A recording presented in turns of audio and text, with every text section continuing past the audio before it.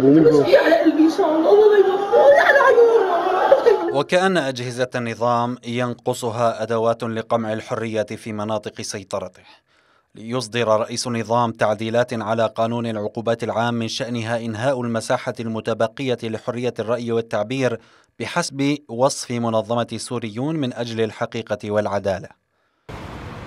تنشر صحيفة الوطن الموالية التعديلات الجديدة وتضيف أنه بدأ العمل بها بشكل فعلي بعد إقرارها سابقا ومن أبرز التعديلات التي أشارت لها منظمة سوريون من أجل الحقيقة والعدالة هي تغييرات في مصطلحات العقوبات الجنائية العادية مثل الإعدام والأشغال الشاقة المؤقتة والمؤبدة وهو أمر زاد الغموض حول بعض المصطلحات القانونية التي كانت أساسا تتسم بنوع من الضبابية.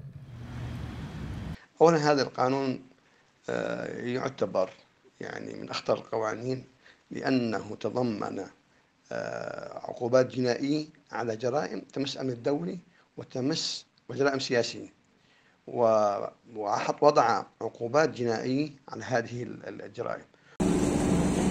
نصت التعديلات الجديدة أيضا على زيادة قيمة الغرامات المالية على بعض العقوبات كأداة لتحصيل المزيد من جيوب السوريين لسد العجز المالي والاقتصادي جراء انخفاض وتدهور قيمة العملة السورية بحسب المنظمة.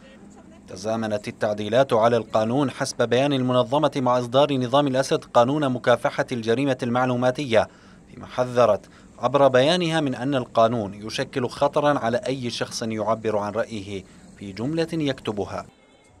قوانين وتعديلات جاءت في ظل ازدياد نسبة وحدة النقد الذي تتعرض له حكومة النظام ووزراؤها وموظفوها في الآونة الأخيرة حول تردي الأوضاع المعيشية في مناطق سيطرته وعدم قدرة حكومته على تأمين الاحتياجات الأساسية لهم في مناطق سيطرتها من كهرباء ومياه ورغيف الخبز وغيرها. فأوجدت العقوبات كحل لضبط الشارع عوضا عن تحسين واقع صنف كأسوأ الأوضاع المعيشية في العالم.